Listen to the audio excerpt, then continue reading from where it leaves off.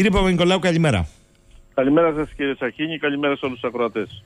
Για πείτε μου, τι, τι πρέπει τελικά από όλο αυτό τον καταιγισμό των πληροφοριών να καταλάβουμε στο κομμάτι βεβαίως που σας αναλογεί και που έχει σχέση με τις πτήσεις. Πέρα από το ότι καταλάβαμε ότι πάνω από τα κεφάλια μας μπορεί να ύπτανται διάφορα περίεργα ώρα λαθρεμπόρια επικίνδυνων υλικών.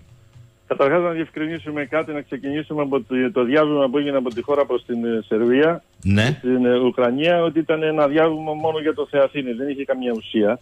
Και απορώ γιατί, γιατί έγινε τελικά. Ε, δεν είναι υποχρεωμένη ε, η εταιρεία και το αεροπλάνο να, να, να δώσουν ακριβή στοιχεία της μεταφοράς του υλικού που έχουν, δεν προβλέπεται από πουθενά.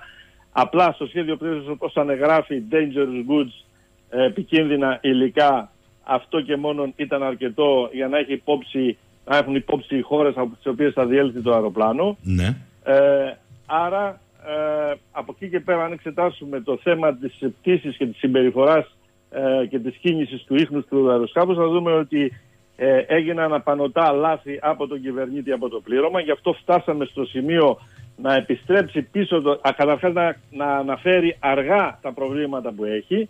Δεν δικαιολογείται δηλαδή το ίχνος και η στροφή προς τα πίσω να πάει προς τη Σερβία πάλι και οι χρόνοι που έδωσε αναφορές στον, ε, στους σταθμούς εδάφους της ε, Ελλάδος. Φαίνεται ότι ε, ενώ θα έπρεπε να στρέψει κατευθείαν αριστερά να πάει προς τη Χρυσούπολη, για κάποιους λόγους δεν το έκανε. Οι λόγοι θα μπορούσαν να ήταν είτε διότι πίστευε ότι μπορούσε να προλάβει να γυρίσει άρα λαθασμένη εκτίμηση, είτε διότι κάτι άλλο υπήρχε στο φορτίο που ήθελε να το αποφύγει, αλλά το πιο πιθανό για μένα είναι ότι ε, έχοντας τέτοια βλάβη, εάν έμενε στη Χρυσούπολη, ενδεχομένως να παρέμενε εκεί το αεροπλάνο για πολλούς μήνες, που σημαίνει πολλά έξοδα για την εταιρεία. Άρα, αν είχαν αντιμετωπίσει άλλη αντίστοιχη περίπτωση στο παρελθόν ενός κινητήρα ο οποίος να έχει πάρει φωτιά και να την είχαν αντιμετωπίσει επιστρέφοντας ε, ε, στο αεροδρόμιο προσγείωση ή σε κάποιο αεροδρόμιο που δεν θα τους κόστιζε τόσο, γι' αυτό μάλλον αποφάσισαν. Τώρα, στρέψανε 180 μοίρες προς τα πίσω πηγαίνοντα στο αεροδρόμιο τη Σερβία.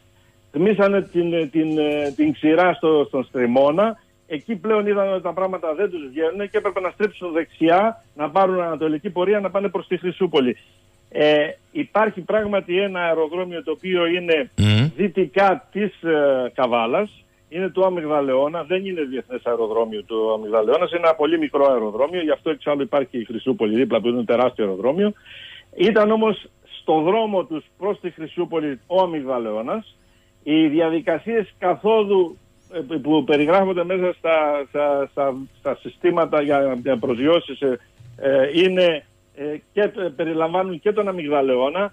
Ε, αυτός μάλλον έπεσε γύρω στα 3,5 μίλια πριν από τον αμυγδαλεώνα που σημαίνει ότι σαν ίστατη ε, λύση είδε και την, ε, ενδεχομένως και την προσγείωση εκεί διότι ήταν ένα αεροδρόμιο που σαφώς το έβλεπε μέσα στα ε, Εντάξει αφού μιλάμε για αναγκαστικό λέτε μπορεί όμως ναι. με βάση αυτά που μου περιγράφετε προκύπτουν δύο-τρία ερωτήματα το ένα είναι ευτυχώς που από τον πύργο ελέγχου ε, Χρυσούπολη Θεσσαλονίκη, δεν ξέρω, ο πιλότος σκέφτηκε Χρυσούπολη. Δηλαδή, αν πήγαινε προς Θεσσαλονίκη, κύριε Παπα-Νικολάου, θα λέγαμε άλλα πράγματα σήμερα. Ήτανε, καταρχάς ήταν μεγαλύτερη η απόσταση στη Θεσσαλονίκης, λογικά δεν μπορούσε να πάει. Το δεύτερο Ήτανε που σχεδόν θε... για την διπλάσια απόσταση, άρα θα έπρεπε να πάει Χρυσούπολη κατευθείαν. Μάλιστα. Καλά, αφού αν υποθέσουμε ότι πήγαινε προς νήσο όπως, λέει, όπως εκτιμούν, μπορεί να το σκέφτηκε. Το δεύτερο όμως που θέλω να σας ρωτήσω είναι το εξής. Είπατε ότι είναι καλυμμένοι από τη στιγμή που γράψαν επικίνδυνο φορτίο. Ωραία.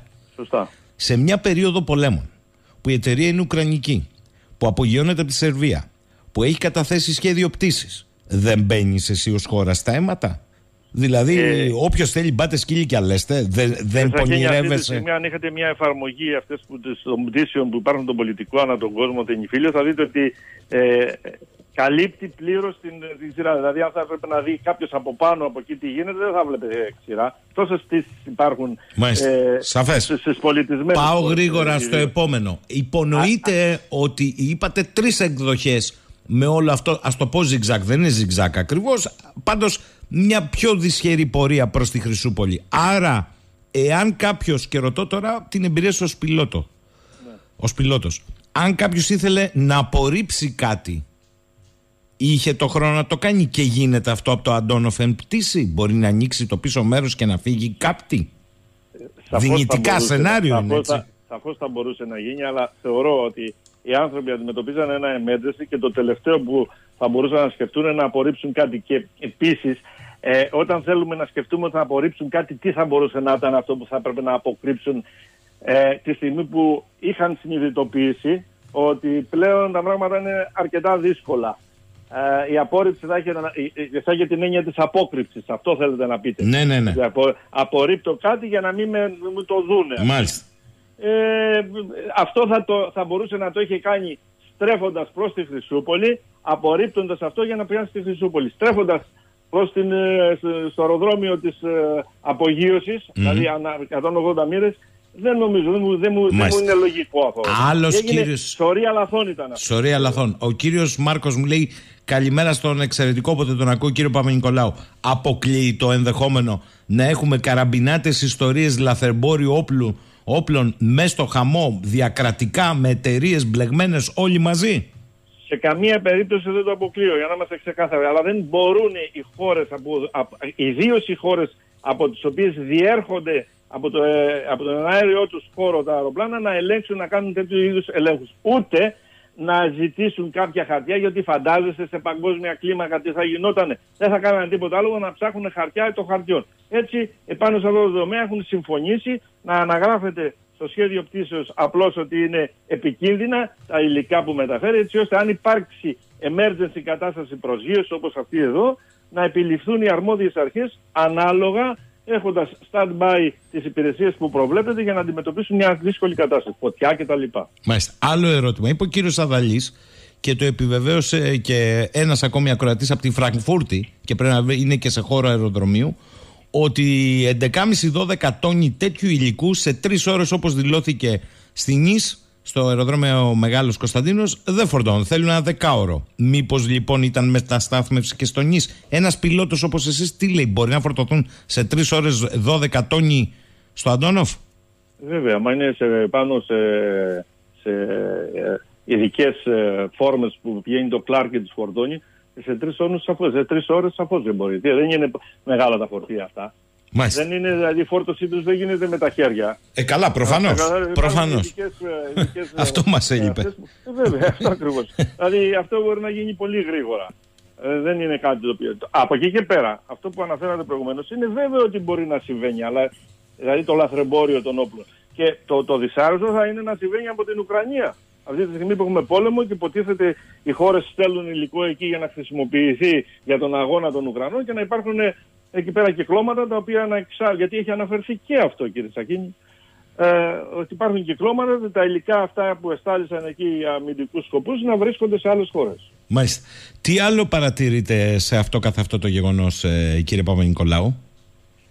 Κοιτάξτε, μας, μου έχει κάνει εντύπωση του, η πτήση του αεροσκάφους ότι έχει τέσσερις κινητήρες και δεν μπορούσαν να κοντρολάρουν τη φωτιά στον ένα κινητήρα, διότι και με δύο κινητήρες εκτός λειτουργίας θα μπορούσε να πετάξει. Ε, είναι ένα θέμα βέβαια που θα προκύψει μετά τη διερεύνηση, θα το δούνε, διότι πώς μετεφέρθηκε από τη μία φωτιά του ενός κινητήρα στα άλλα συστήματα και φτάσαμε στο σημείο να μην μπορεί να ελεγχθεί η πτήση από τον κυβερνήτη.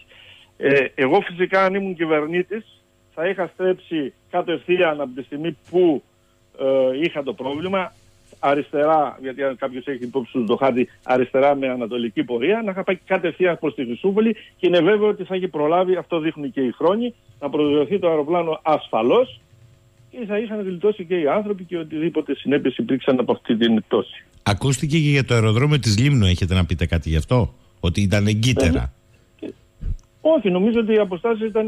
Κοιτάξτε, πριν φύγει ένα αεροπλάνο από, την, ε, από, την, ε, από το, το αεροδρόμιο απογείωσης, ε, έχει ελέγξει στη διαδρομή και έχει ζητηθεί να εγκριθούν κάποια αεροδρόμια που μπορεί να τους περιμένουν, σε, που μπορεί να χρησιμοποιηθούν σε περίπτωση emergency. Νομίζω το αεροδρόμιο της ε, Λίμνου έκλεινε 10.30 ενώ το αεροδρόμιο της ε, Χρυσούπολης έκλεινε 11.30 γιατί δεν μπορεί να είναι όλας 24 ώρες στο 24ωρο. Τα μεγάλα αεροδρόμια είναι ανοιχτά. Άρα της Χρυσούπολης και απόσταση λίγο παραπάνω να υπήρχε πως ήταν το αεροδρόμιο που μπορούσε να τους υποδεχτεί διότι είχε πυροσβεστικά έτοιμα, ήταν mm-hmm. όλο το προσωπικό εκεί για να αντιμετωπίσει αυτή την κατάσταση. Ε, το ξέρανε αυτοί, γι' αυτό ζήτησαν και μίλησαν τη Χρυσούπολη. Μίλησαν βέβαια με το σταθμό εδάφους και τη Θεσσαλονίκη, η οποία τους παρέπεμψε όπως το περιμένανε να πάει στη Χρυσούπολη. Επίσης, να ξέρουμε ότι τα σημερινά συστήματα, το navigation system που έχουν είτε του ανατολικού μπλοκ είτε του δυτικού μπλοκ τα αεροπλάνα είναι υπερσύγχρονα, τα GPS που έχουν. Οπότε δεν υπήρχε περίπτωση σε ελάχιστο χρόνο να μην γνωρίζουν πού πρέπει να πάνε. Μάλιστα. Ε, ρωτάει εδώ πέρα ο φίλος ο Κώστας, αποκλείεται εκτός από τον κινητήρα να υπήρχε γενικότερη διαρροή καυσίμου στο αεροσκάφος; Τίποτε δεν αποκλείεται. Αυτό θα προκύψει από τη διερεύνηση που θα γίνει. Οι πληροφορίες που έχω είναι ότι υπήρχε ε, ένα πρόβλημα με την πίεση ελαίου αρχικά και υπάρχει και ένα άλλο όργανο σε αυτό το αεροσκάφος για την θερμοκρασία ελαίου, τα οποία είχαν ξεφύγει από τα όρια και από εκεί μάλλον προήλθε και το πρόβλημα της κράτησης του κινητήρα. Αυτό όμως, αυτά τώρα είναι οι εικασίες ή αυτά ναι, που ναι, ακούμε. Ναι, σωστά. Εάν δεν γίνει η διερεύνηση, αν δεν πάνε οι ειδικοί να δουν τα συντρίμια, το μαύρο κουτί και το διάλογο, να μετρήσουν τους χρόνους, τα ίχνη για να βγάλουν τα συμπεράσματά τους, ε, ο καθένας μπορεί να λέει, από εμάς δηλαδή, μπορεί να λέει ό,τι θέλει.